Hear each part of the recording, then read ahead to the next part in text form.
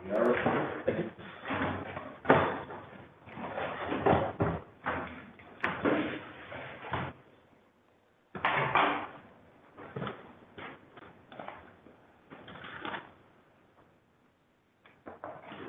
right, it is six o'clock, uh, and we have uh, all five members of the, uh, Board of Commissioners here.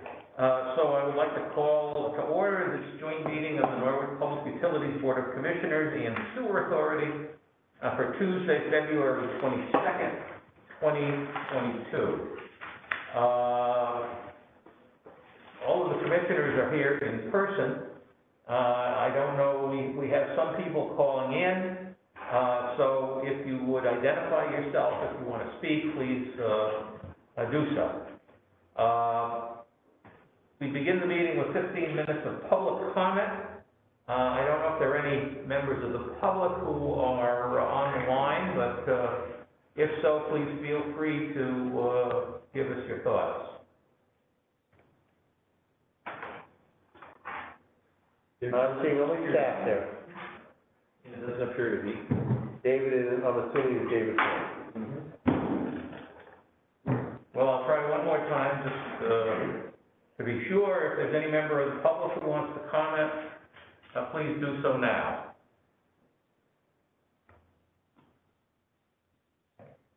Okay, and seeing none and hearing none, we will, uh, close the fifteen-minute public comment period and move on to approval of minutes. Uh, I would accept the motion to approve the minutes of the last regular meeting of, uh, the NPU Board and Sewer Authority meeting, uh, of January twenty-fifth, twenty twenty-two. Sean moves the acceptance, Stuart, second. All those in favor? Aye. I'll abstain since I was a little tardy that night. Okay, so it's, uh, four to nothing with one abstention, uh, on the part of Bill. Uh, and we will move on to the, uh, the next item, which is CMEEC update. Commissioner Keel. Thank you, Robert. All right. Uh, the CMEEC board met on January twenty-seventh. Uh, the master dashboard for December and for the, uh, twenty twenty-one year end showed the continued downward trend that started last year. Uh, primary causes are the pandemic and the closing of the Pierce Generating Station. Year-end all-in total member return came in at eighty-seven dollars per megawatt hour, which was four dollars above budget or five percent off budget. Not too bad, but still off the mark. Uh, the year-end project portfolio was below budget by almost three million dollars, or thirty-two percent, due mostly to the closing, uh, associated, cost, closing costs associated with Pierce. Uh, in addition, CMEEC reported outstanding bond commitments that remained after the Pierce sale. The final cost determination that, that is expected in the first quarter of this year. Uh, the Norwich portion of those outstanding bond commitments is expected to be about a million dollars. In light of the significant financial loss associated with Pierce, recently one of our better performing projects that turned south quickly, uh, the board requested CMEEC to provide performance metrics for all the remaining projects and the best projection of the external forces affecting those metrics and the degree to which CMEEC and the board can assess project viability going forward. Uh, CMEEC agreed and should be ready to uh, report out at the March meeting. Uh, one bright spot, CMEEC did report out that as a result of the twenty twenty-one debt refinancing of Transco bonds, uh, repayment, uh, funds that were collected between twenty twelve and twenty sixteen for those bonds will now be returned and refunded back to the members, and the members can choose where to use them. A total of four point six million dollars was collected, and the Norwich portion of that will be about a million dollars. That's all I had. Thank you very much. Do we have any questions? Yeah, that million dollars, that is our portion in the first part project mentioned. What, what does that come out of? The reserve, cash reserve, or? So that would get deposited into where we decide. It could come back to us, we could put it in our, our cash reserves up there, we could put it in a rate stabilization fund. How about the first part? I mean, the one's coming out, that has not been decided, I, I have talked to Chris, it has not been decided where that's, where that's gonna, we have. Where, when, and over what period, and that's a meeting that, uh, CNX gonna have with all the, uh, members in the next, uh, month or so. Oh, okay, then you'll report. Uh, And sort, one other thing, tonight, uh, Dave Eckel- Eggleston, the Norwich, uh, community representative, will be presenting at the city council tonight, uh, a status on CMEEC. Okay, good. Uh, and I, uh, know that I talked to Dave, uh, Eisinger about it, he'll be attending on Zoom tonight to, uh, to see, uh, what Dave has to say. All right, good. Thanks. All right, terrific. Uh, thank you very much. Um, The uh, next item on the agenda is the Finance and Audit Subcommittee report. Michael? Okay, we we had a meeting last week, and we had several presentations on cost drivers, primarily for the gas and electric divisions. And, uh, it was pretty detailed, uh, a lot of stuff on pipe updating or, you know, gas line updating, and then for electric, uh, there's some of the major projects they're working on, the electrical side. I didn't understand a lot of it, to be honest, but, you know, you pick up a little bit here and there. Need somebody like Chris to do an interpretation of some of it. Well, anytime you need more detail, Mike, don't be afraid to ask. Good, thank you. Um, I, um, I mentioned that I would love to undertake, you know, in concert with Chris and Laura, some sort of, uh, management report that would be more designed for the people that aren't erudite in the numbers, like, you know, Laura's phenomenal at it, you know, I have some knowledge of our numbers here, I don't really profess to really understand everything.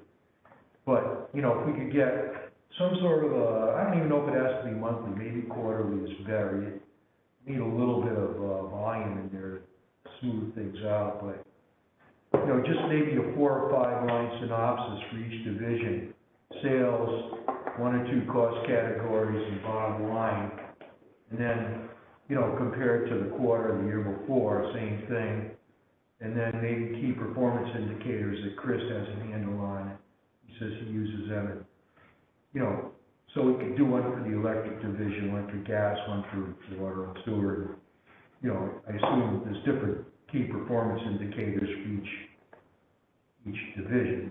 There's different things going on, but, I don't know what they are, but, you know, it could be the number of customers increasing or decreasing, it could be, uh, you know, the volume of, uh, number of electrons we sold or whatever, but, um, I'd love to see if we could put together, you know, a report that, that people could kind of digest it in five or ten minutes at the meeting.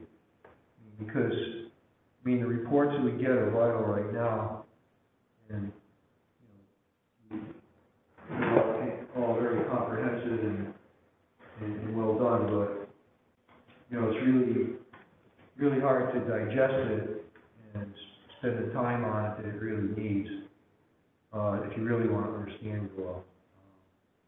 I tend to look at the bottom line, how it's coming out, and, you know, not get too lost in the weeds, you know, if I can avoid it. So I, I mean, I think I have a fairly good handle. I know cash balances is an issue too, and, you know, one of the key, I don't know if it's a key performance indicator or just somehow some balance sheet information should be disclosed and that be part of it. Without getting into too much detail, um, you know, it'd be nice to know how much the cash is, how much of it is, uh, encumbered by some sort of, uh, reserve requirement. And, um, you know, how much basically is required for our bonding and our loan agreements that we're entering into. And if there's any, you know, how much, if any, excess do we have beyond the minimum requirements. People hear that we have forty-five, fifty million dollars here, and they think we're rolling in dough, but, you know, if we can show the, uh, you know, how much of it is, is mandatory to have just to survive, and be- get, get financing, I don't think we would look too rich. Or at least we'd have a better picture, you know, to the average person, this could be used for anybody, you know, that, we are a public agency, so I, think, I'm pretty, the more I thought about it, the more excited about it I got, hoping that, you know, we can work together on it. Yeah, so we'll have some ideas in the, uh, March sixth, uh, finance and audit committee meeting. So that's coming on, uh, in two weeks. Yeah? Okay, fantastic, thank you. Mike, I have a couple of questions.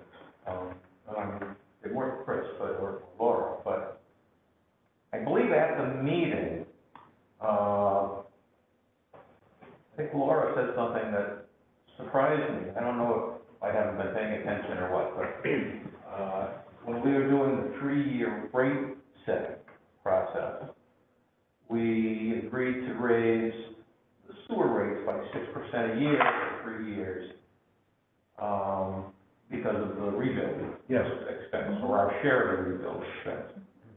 But I think Laura said, well, actually, we're gonna have to go up six percent a year for ten years. Um, which I wasn't aware of, I mean, I don't know. And, you know, that compound, so that's probably close to a, over ten years, seventy, seventy-five percent increase. And I guess one of my questions is, is that accurate? And, uh, you know, for somebody who has a single-family home, maybe that's not in sewers. The actual dollar amount is not that great, but somebody that has a business might see a real problem. Well, oh, Bob, there's a couple things that are changing dramatically right now. Uh, EPA and DEP are changing their affordability analysis. We don't know what it's gonna look like exactly, uh, but that just came out, what, today or today? I saw it this morning. Today? And, uh, so that model's gonna change. We're gonna have to go and engage in our consultants, uh, CDM to, and, and their sub-consultants, to relook at this when that comes back out again. Okay.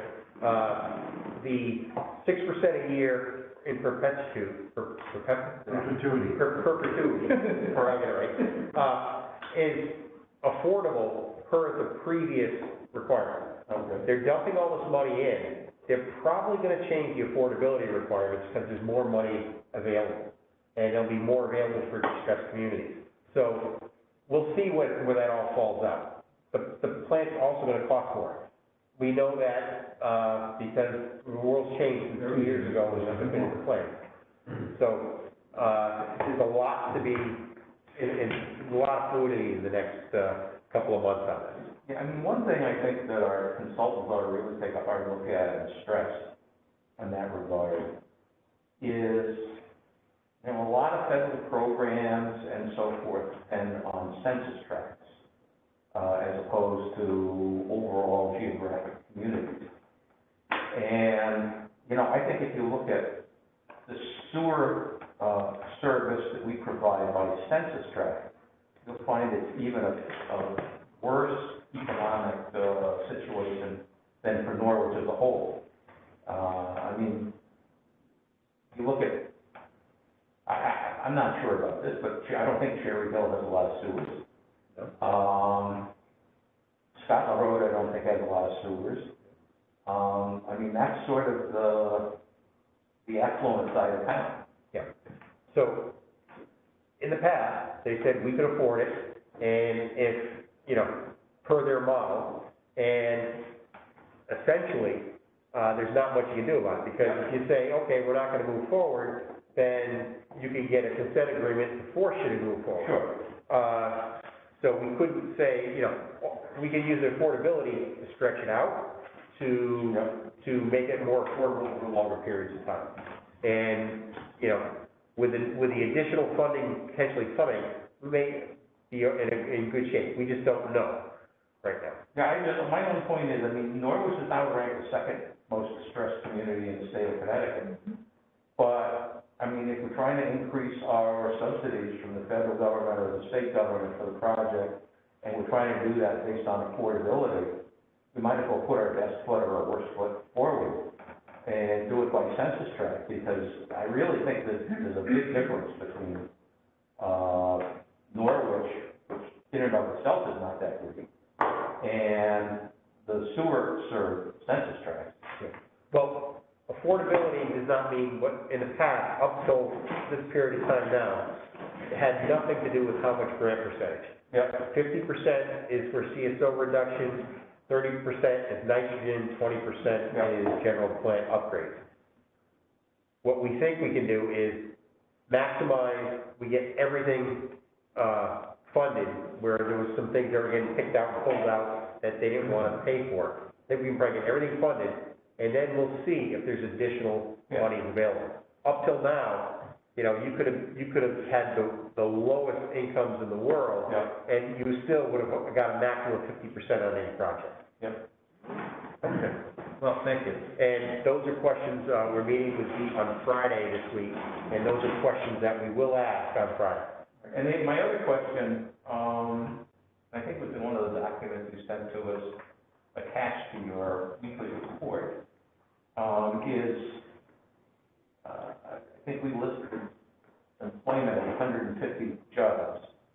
And I know that we used to be hundred and fifty jobs, and we dropped down to, I think, hundred and thirty-seven.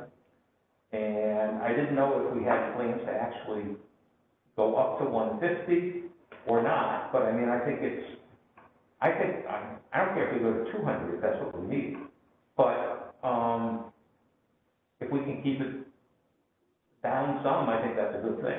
The budget right now has hundred and fifty-one jobs in it. Okay. Uh, we are at one thirty-nine? Thirty-nine. Yeah, we're at one thirty-nine right now.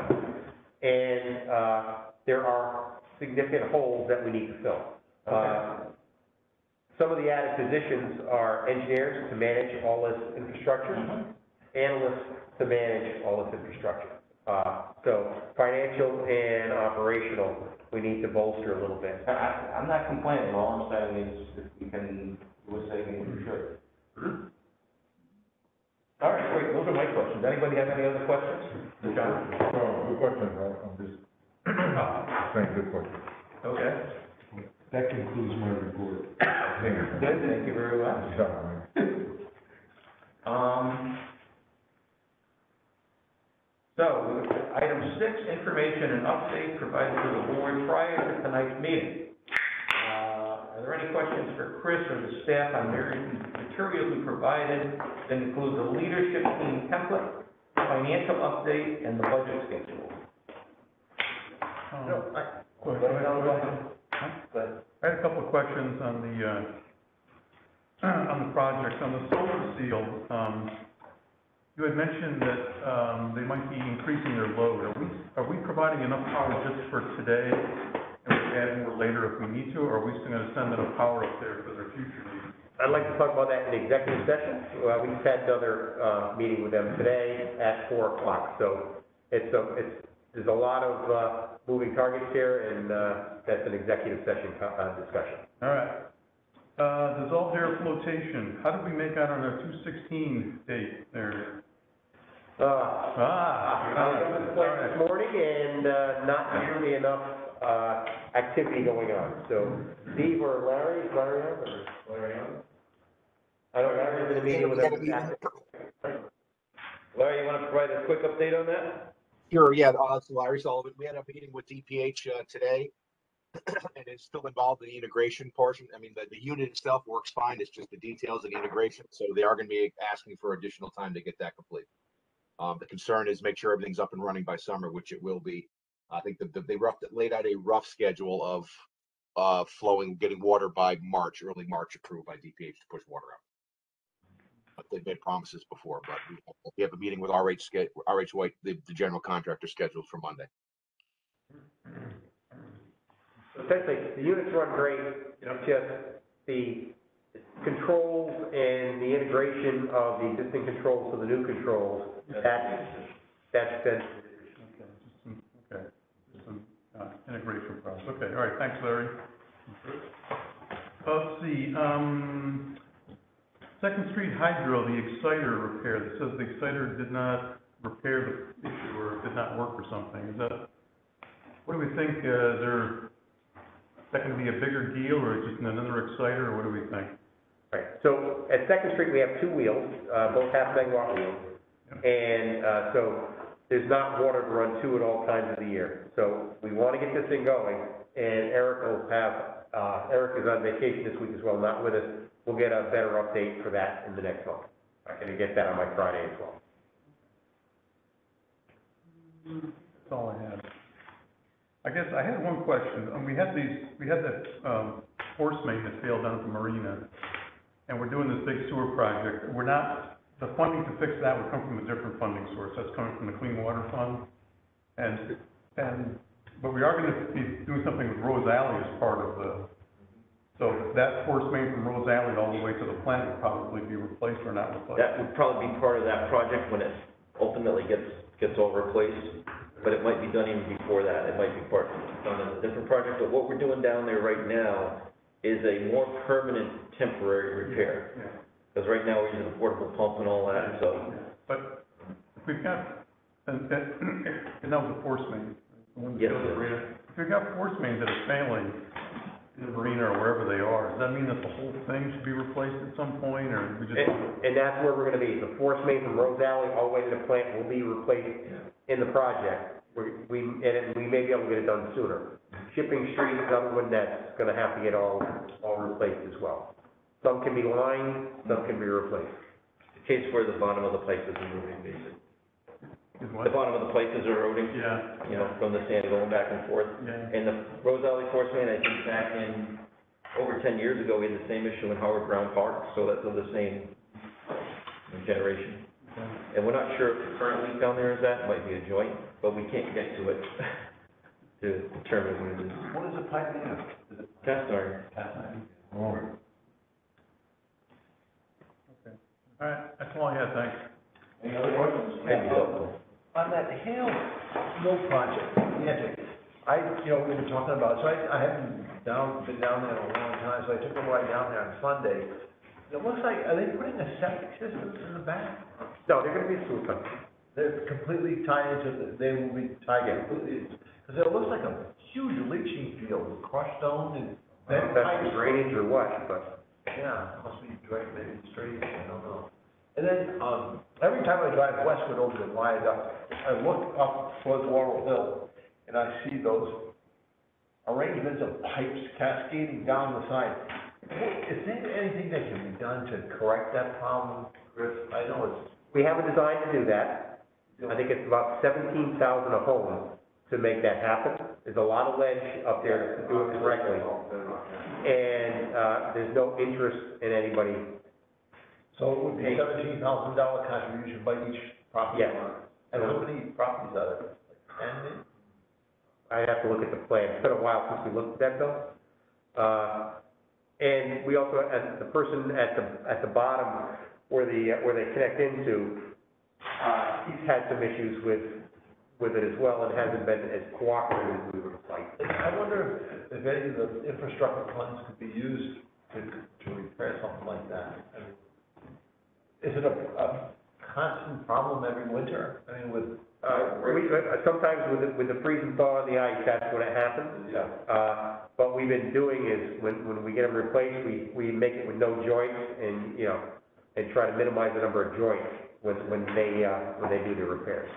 Uh, but that is something we, I can, uh, talk to John Salomone, see if there's any ARP money for that. Yeah, and that would be something worthwhile to look into, because, uh, obviously, I don't think, you know, people would ante up to seventeen thousand dollars. No, and it was not affordable at the time, and that's why it kinda died. All right. Yeah, just out of curiosity to see. if it's local. All right, any other questions for uh, Chris? Hearing none, we'll move on to strategic presentations, and I guess there's one about the CEN Wi-Fi system. Uh, and Chris, who's doing that? Uh, John Covey will give us an update on that, and, uh, Steve will throw the presentation on it. There we go. We'll go to the, to the big kids table, and then put it off to the child's table there on the side. Ready? Okay. So I want to give you folks a quick update on where we are with the CEN Public Wi-Fi project. Uh, this is a partnership that we, uh, entered into with, uh, the state, uh, a little over a year ago, trying to help them with, uh, you know, their, uh, Everybody Learns initiative project, and then help that deploy here for the community of Norwich. So if you go to the first slide there, Steve. Thank you. So this is kind of an overview of the project as a whole. Um, there are twenty urban and twenty rural communities across Connecticut that are participating with the state. Um, this system will support access to telehealth, education, uh, commerce, uh, pretty much anything that, that folks might need to get to the internet for, they can use the system. There's over hundred and fifty-four Wi-Fi access points across the state. Um, this all is part of CEN's high-performance network. Um, they, uh, try to use community access wherever possible, link this to schools. Uh, those are the areas that could use it the most. And then with us, they partner with us here in this municipality. Um, the intent was to have underserved neighborhoods, places where people can walk up, public access, places like parks, different places like that where people could have access to the internet. Um, the equipment, we had the uh, donations for equipment and, and, uh, materials that were made and the intent is for them to manage this for twelve months. Right now, all, in- all indications are that they'll probably extend that an additional twelve months, and then we'll see what the management of that looks like. Next slide, please, sir. So that's a bit of an eye chart, um, but the bottom line, when you start looking at the numbers, uh, across the top, um. So in this area right here, it looks like we're going about two thousand connections in total. When the project started back in, in, uh, a year ago, January, uh, and then this last, last January, we're up to about two thousand connections, uh, daily connections. Um, excuse me, from seven, fifty-seven daily to almost two thousand daily connections onto the system. That's statewide, that's not just here at home. Uh, but there's a high degree of, of, of adoption across the state. The map that you see here shows the, the different communities that are participating all across Connecticut. Uh, next slide, please. So for our portion of the project, we had thirteen access points that were deployed within the community. Um, you know, we had those configured, and delivered, we had them ready to go, and then we found different challenges with some of the locations that we initially had identified for the, the access for these devices. Uh, things like coming in and finding that there was no space on a particular pole, um, or there were other remediations that had to be done in that area before we could deploy the device. We felt it was better if we found an alternate location that equally served the community and didn't overly put a, a burden on, onto NPU. Um, when you look at that black box that's off to the right in that slide, that shows you what the, um, access to that network looks like. If you pull up your phone or tablet right now, you should be able to see that. And with one click, you can access, uh, TV public Wi-Fi. The other one that we have highlighted is EduRoam. EduRoam is part of that, uh, network. Um, they partner with different schools and colleges so that students can authenticate to their particular school or university from wherever they are on the EduRoam network. So UConn students can get on in, in, uh, uh, in Norwich, Yale students can get on, Norwich Public Schools. Uh, with this, uh, the devices that we've been deploying are active and they're providing services in the community. We're still trying to assess to see what the, uh, the usage looks like locally and how successful that is. But it's already been a great benefit for us. When we run the Emergency Operations Center in this room, anyone who's in here for the EOC can have access to the internet via the Connecticut Public Access beyond what we already provide for the EOC. Um, and we're planning on this becoming a good benefit for our customers as well, because we will have a unit present that will make a good signal for the customer service center. Anyone driving up, driving in, doing business will be able to access the internet as well. Next slide, sir.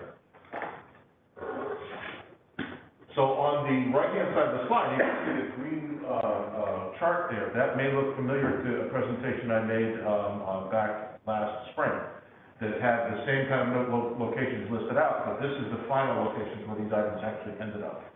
Um, you can see we had to make a couple changes to those devices, and on the left-hand side of the screen, there is a map that shows where those are in Norwich, but I think it might be a better thing to show you exactly what that looks like.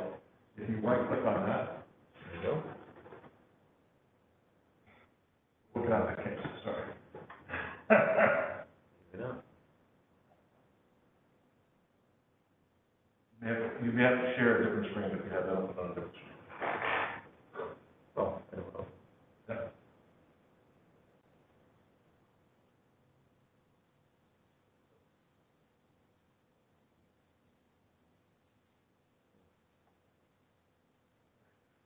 Worked well in the other room, John.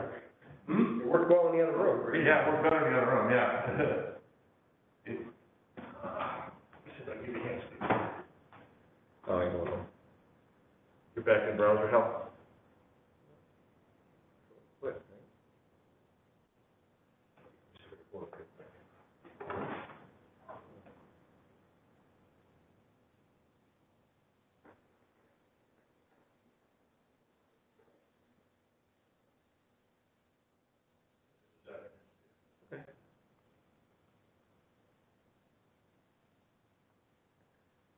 on the phone, are you folks seeing the map?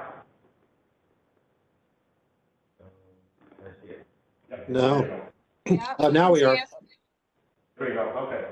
So bear with me for, uh, screen resolution here. It's a little bit disorienting as that kind of turns around, but this is a fly-through for these different locations. So this is the administration building here that we're in right now, and our customer service center. Now, the, the coverage area is roughly what you're seeing on the map. Um, it's not scientific, but it's pretty close to what you see. Franklin Street is now the, the closest one to us.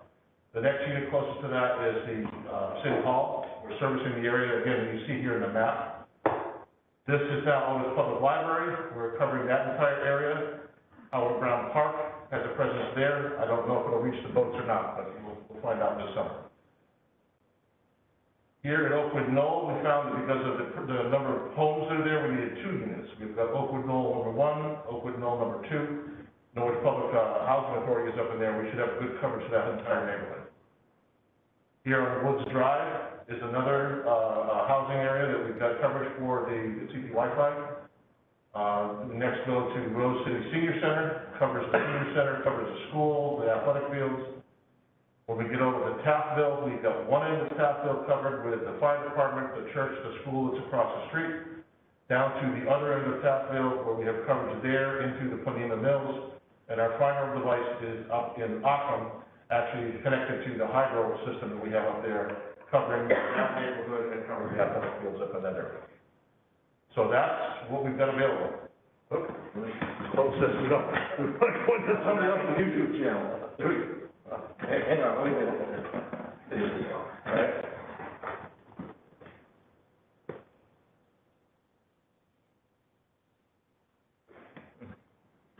Hold on just a second. Hard when you're trying to present and do the other at the same time. There.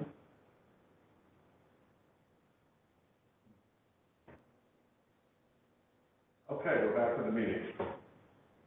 So any questions I can answer for anybody?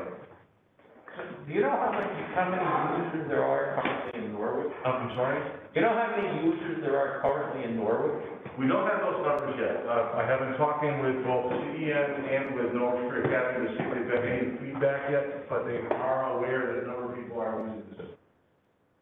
No complaints though. I mean, if, no issues with connect- connectivity. Yeah. And, uh, no, people, I think people are pretty well aware of it. I know the Otis Library crew wants it.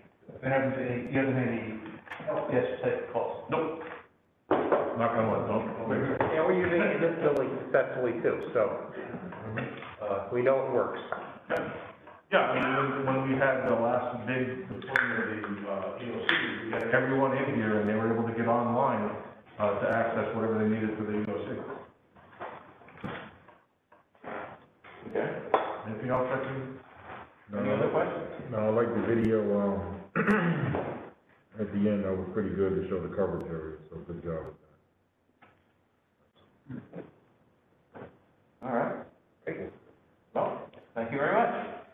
I, I guess, are there any other areas we would like to expand to at some point? Well, I think there probably are, and I think what we'd like to do is again, again, see what the data looks like, what kind of a return are we getting on that? Yeah. Find out a little bit more what the long-term plans are for the state with the overall project.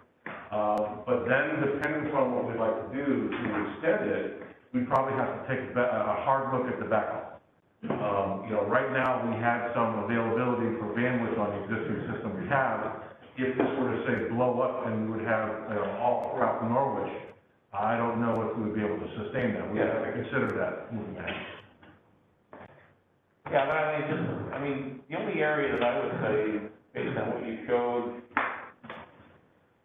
to be added is maybe the west side. Um, Yeah, it, it, there's a couple areas we looked at on the west side, the concern, I think, so, so again, with the state, they have certain criteria they'd like us to meet.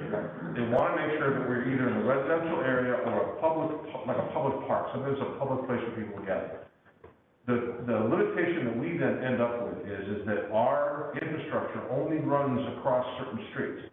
If we were to say, make a run that went down a particular, uh, street on the west end, down into a neighborhood, that might be a twenty thousand dollar run of, of fiber in order to put that one access. okay. I, I don't know, I'm just saying that that's an example. Yeah. Then there's also, I, I believe CEN has something with, um, uh, Three Rivers Community College, where they may have some access in that neighborhood as well. So it's, it's, again, a couple, a couple things where if we would wanna see a pervasive network, there's an awful lot of infra- infrastructure work that's having to go hand in hand with that. But for right now, we did try to hit areas where the public is present, underserved neighborhoods, you know, places where the things that, that people can take the best advantage of. A place like Mohegan Park. Yeah, so Mohegan Park was another, um, interesting challenge. There was, there's a dog pound up there, and we had access to a, a, a device in the dog pound. But when we took a look at where the heat map would be, where everything was gonna, gonna propagate there, we weren't sure that it was really gonna cover the park very well. So it's a place we'd like to revisit, um, and especially if it's something that we either we do a small add-on to what we're doing for the pilot, or if in the future we want to do better access for, for Mohegan Park in general. Um, there was, uh, is it, is it Shady Lane that goes up the hill from over here? I think it was one of those we looked at, and then, a- again, we thought we could get up close enough where you could get coverage in the park, we just couldn't make the infrastructure work on our side. Mohegan Park's almost like a movie theater in that it's empty all winter and, and not terribly populated during the day, but summers and weekends, it, it's, it's very good. Yeah. Yeah, and the, the, so Howard Brown could have that same reputation, but where the device is situated, it's actually on the parking garage, so it actually extends into the downtown area, so if you're walking about, you could have access in, in downtown. Uh, you know, did open a device at Sun City Hall. Um, you know, I don't know that there's a lot of kids doing their homework sitting out in front of City Hall, but it does have, there is access that we have available in that area. If you log into one node, um, in your phone, does your phone uh, automatically log into every other node? Does every? And anywhere it sees CP Public Wi-Fi.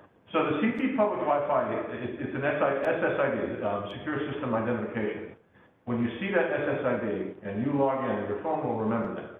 Now, because that network doesn't require you to sign in, it should attempt to log in every time it sees that. Now, there's a couple other things that the network will do, like it gives you a token that allows you to get in, and every once in a while, you have to, to log out and log back in, even without connection, just to get a refresh on that token. But if you see CP Public Wi-Fi here, New London, New Haven, Middletown, uh, and we're in other towns, but they, they all, every one of those, you should be able to access it, for CP Public Wi-Fi. The same goes would true, attempt to, and if it could, it would. yes, You may have to redo it, but it would try, okay. yeah, you may, what you may have to do is, is every once in a while, say, forget the network and then go back in, and then you get a fresh token from that network and make sure that you can access it.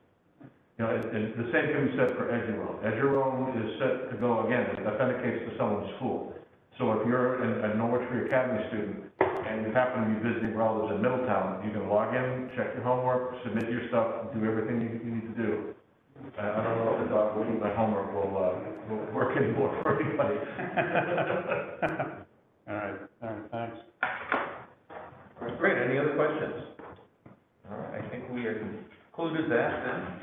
Um, Chris, do we want to go into executive session now, or do we want to skip to other business first? Um, is, is there other business from, we can, if there's other business to be added, we should bring it up. Well, I only have one thing. I just wanted to mention this. I've talked to Sean about this, I've talked to Chris about this.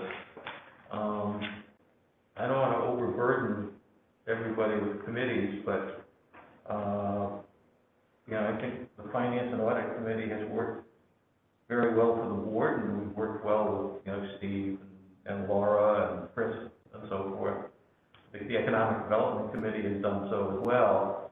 And I, I guess I was just wondering whether as a third and final committee, uh, we might think about a communications committee, let's say, that works with Chris Riley and Chris, uh, Rose and some other folks, uh, on a number of different issues, communication with the public, uh, marketing, uh, of NPU, uh,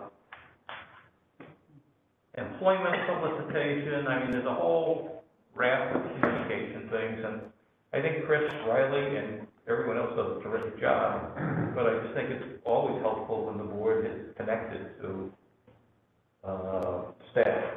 So, I think, I was talking to Chris about this tonight, I mean, I think maybe, uh, Sean and whose, whose background is in marketing, uh, and I and Chris might chat a little bit about it, and at the next meeting, we have a proposal, we'll bring it to the. Sean, does that make sense to you? Yep, it does. I think that it's a great idea, and, um, you know, it gives us some opportunity to, um, collaborate and work together. And, um, you know, sometimes two eyes, four eyes are better than two eyes, or however many people are involved. And sometimes having things from a fresh or different perspective allows us to all grow, and, um, allows us to deliver the deliverables that we need to have, you know, whatever the subject matter is that we wanna focus on. Perfect. So that was, I I just wanted to make that, that sort of comment. Does anyone else have any other business? Hearing none, we can then go to executive session. Uh, That's a, taking oxygen, here. Um, The idea is to go into executive session to discuss confidential, trade secret, and commercially valuable confidential or proprietary information not subject to inspection or public disclosure pursuant to section one, and seven, two, thirty-two A of the Connecticut General Statute.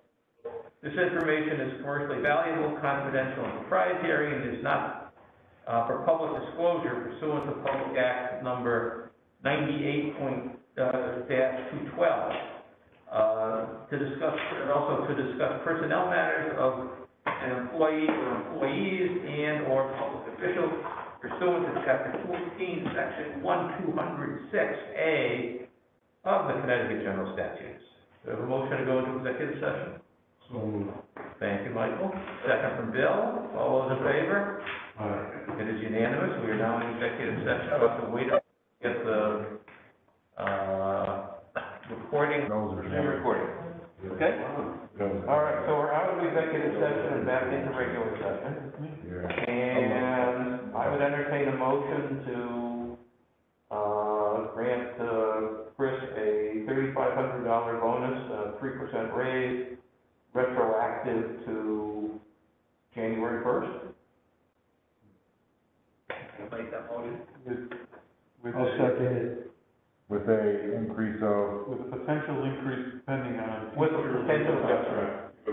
Uh, depending on what employee negotiations turn out. Potential plus, okay. Yeah. Right. All right, all those in favor? Aye. Opposed? It's unanimous. All right. Once again, in public session, thank you very much, I really do appreciate it. spend it all in one place.